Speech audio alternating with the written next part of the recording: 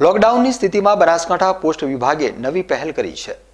વિધવા મહિલાઓને તેમજ વૃદ્ધ પેન્શનરોને door to door pension post માસ્તરો તેમજ પોસ્ટના કર્મચારીઓ દ્વારા પહોંચાડવામાં આવી રહ્યું છે. લોકડાઉનની પરિસ્થિતિમાં લોકો માટે વિકટ પરિસ્થિતિનું નિર્માણ થયું છે. વિધવા મહિલાઓ હોય કે પછી વૃદ્ધ પેન્શનરો હોય, તેમને પોસ્ટ વિભાગ દ્વારા ઘરે ઘરે જઈને પેન્શનની રકમ ચૂકવવાની પહેલ કરવામાં આવી છે. બનાસકાંઠાની ત્રણસો છોતેર બ્રાન્ચના પોસ્ટ માસ્તર તેમજ પોસ્ટમેન ગ્રામીણ અને શહેરી વિસ્તારોમાં વિધવા મહિલાઓ હોય કે વૃદ્ધ પેન્શનર હોય તેમને ડોર ટુ ડોર પેન્શન પહોંચાડી રહ્યા છે આ લોકડાઉનની પરિસ્થિતિમાં વિધવા મહિલાઓને પણ તકલીફ ન પડે અને વૃદ્ધ પેન્શનરોને પણ તકલીફ ન પડે તે હેતુથી પોસ્ટ વિભાગે એક નવી પહેલ કરી છે અને ઘરે બેઠા વિધવા સહાય અને વૃદ્ધ પેન્શનરોને લાભ આપી એક પ્રકારના આશીર્વાદ મેળવી રહ્યા છે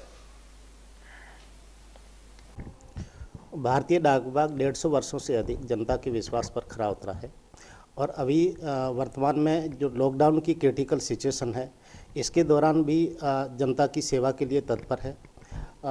इस लॉकडाउन के दौरान डोर स्टेप सेवा देने के लिए जो हमारी विधवा बहनें हैं, उनको हम घर घर जाकर पेमेंट कर रहे हैं। इसके अलावा जो पेंशनर्स लोग हैं, जो कि एज्ड हैं, उनको भी हम उनके डोर स्टेप पर जाकर पेमेंट कर रहे हैं।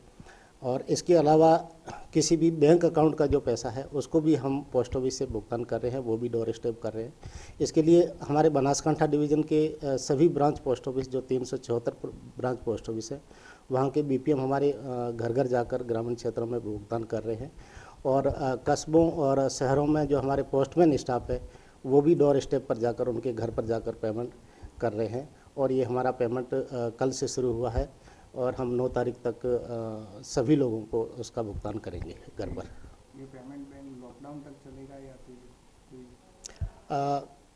ये अभी जब तक लॉकडाउन है तब तक हम उनके घर पर जाकर पेमेंट करेंगे। और कोई फैसिलिटीज़ पोस्ट द्वारा? अभी अ, सबसे जो अच्छी चीज़ है ये है कि चूँकि बैंकों में लोग नहीं जा पा रहे हैं या फिर एटीएम तक नहीं जा पा रहे हैं तो किसी भी बैंक अकाउंट का जो पैसा है, उसको हम पोस्ट ऑफ़िस के माध्यम से उसके घर पर भुगतान कर सकते हैं। हमारे पास में बायोमेट्रिक डिवाइस होती है, जो आधार इनेबल पेमेंट सिस्टम कहते हैं। उसके माध्यम से मतलब आधार के आधार पर वो पेमेंट उनके घर पर किया जा सकता है।